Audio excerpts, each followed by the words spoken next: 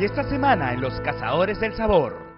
Gente, los cazadores del sabor llegaron acá a la cuadra 37 de la avenida Benavides. Y vienen acá directamente a Calamarcos a comer unos ceviches, un trío, un dúo que son súper conocidos y súper buenos. Acabo de llegar a uno de los restaurantes más clásicos de la ciudad de Lima, el Vivaldino.